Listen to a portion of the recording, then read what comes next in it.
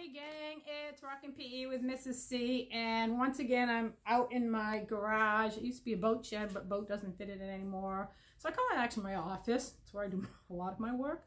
Um, don't have a place in the house so anyway I keep looking around for things to do that I can do at my house and materials that I already have and I try to push that out to you guys. Look around. What do you have at your house and what can you create that you can get some physical, you know, activity with? So anyway, I got invited to somebody's pool and I thought, ah, oh, I'm going to the pool and I'm going to work out and that would be cool. And I had just bought these two new blow ups and they were so cool. They were at the dollar store. So I thought, what a bargain. And one was a fish, one was a ring, and it says ages four plus. So I figured, well, I'm a plus, so I, I qualify for that category. So I got it and I blew it up and I was like, what the heck?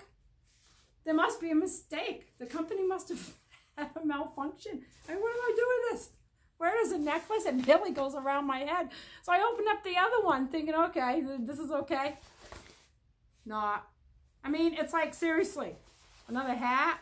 I mean, that's cool if I'm going to like some weird party. But, I mean, look, what do you do with this? How do I exercise with this? I mean, it would maybe lengthen my neck.